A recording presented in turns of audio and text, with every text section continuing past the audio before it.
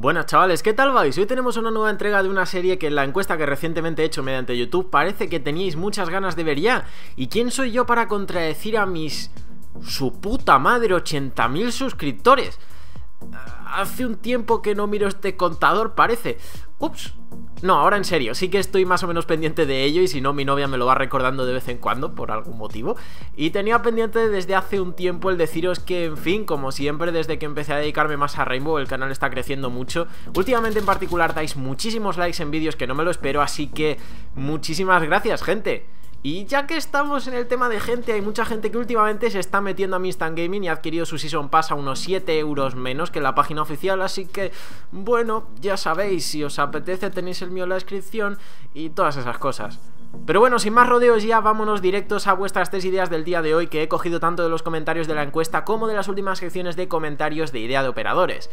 En primer lugar tendríamos a ese Donne es, es Dan, es no sé cómo se dice. En fin, con su operador llamado Búho y de nacionalidad desconocida que va a defender nuestros fabulosos objetivos con unas increíbles 3 puntos de velocidad y una habilidad muy original que consiste en unos auriculares que pueden activarse para agudizar su oído y escuchar a un enemigo o un artilugio de estos. Aparte debería tener otro en el que pueda marcar un enemigo que esté en rango para sí mismo, no para el resto del equipo, lo cual imagino que es para que no esté demasiado chetado.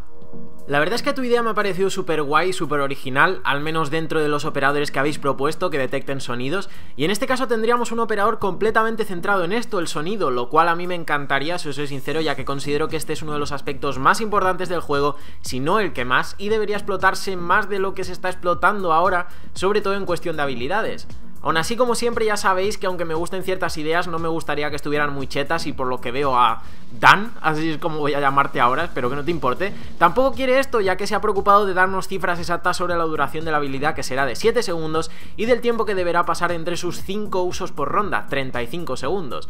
Mientras que estos tiempos me parecen bastante razonables, yo tocaría una cosita y es que en vez de 5 usos le daría 3, como mucho para que realmente cuente cuando lo haces y aparte no puedas potencialmente encontrar a todos los enemigos si tienes suerte.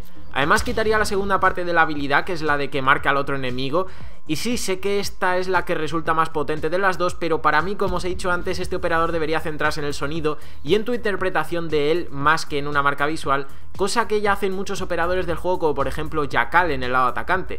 Muchas gracias por tu idea, Dan. Ahora pasaremos a la siguiente que vendrá de Alejandro Franco Correa, que nos habla de su operador sin nombre que usará un PP19, lo cual desde luego me gustaría ver en este juego e imagino que a todos los que jugarais a BF3 también. ¿Qué recuerdos de la grapadora? Qué horribles recuerdos de la grapadora.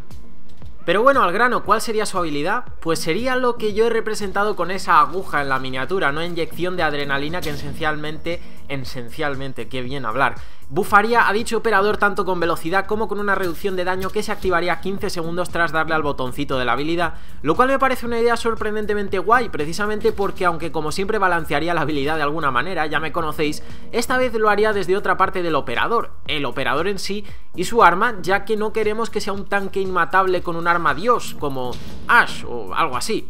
Es bastante conveniente de hecho que lleve un subfusil como la PP-19 que puede tener un daño estúpidamente bajo debido a varias cosas, con lo que a cambio de ser súper efectivo durante unos segundos tendría que pagarlo con ser débil el resto del tiempo. Sé que no sería el operador más efectivo del juego ni mucho menos, pero hey, ¿a quién no le gustaría hacer una de estas cargas suicidas de vez en cuando en casual? O en Ranked, eso sería lo peor, que la gente lo llevaría a Ranked, pero bueno, a mí me mola la idea. Además, por cierto, en vez de defensor le haría atacante para que el bufo tenga sentido, ya que tendrías que cargar hacia algún sitio en concreto. Y además el sitio para el operador con su fusil débil ya lo tiene Valky y con esos músculos que tiene, no me gustaría quitarle el puesto desde luego.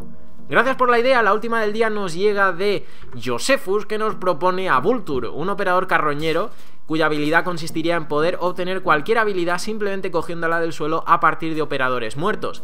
En su idea se especifica que solo pudiera usarse dos veces en la ronda, lo cual está bien, pero nos plantea algunos problemas que a algunos estoy seguro ya se os han ocurrido.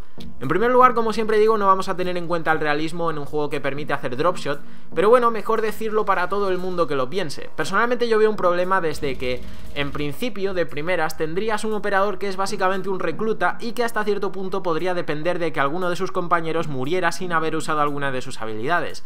No hace falta que os diga cómo es la comunidad de este juego desde que ha crecido tanto, pero imagino que algunos disparos accidentales se producirían en dirección de algunos compañeros de vez en cuando. Además, si el objetivo es coger la habilidad del enemigo, desde el punto de vista del atacante lo que es más probable que obtengas es la habilidad de un Roamer que caces al entrar, lo cual sería útil en caso de encontrar por ejemplo a Ela, pero ¿qué vas a hacer con un Jagger o un Bandit, por ejemplo? Y si eres defensor, ¿qué vas a hacer exactamente con un Fuse, aparte de continuar su misión divina de matar al rehén? Y con Dokaevi, por ejemplo. No sé, hay casos en los que sí serían útiles, evidentemente, pero centrar todo un operador en torno a la idea es poco seguro, en mi opinión. Aún así, como siempre, dejadme en comentarios si me estoy olvidando de algo, no solo de esta idea, sino de todas, pero bueno, ni que decir tiene que la idea suena bien, es original y te la agradezco muchísimo, Josefus.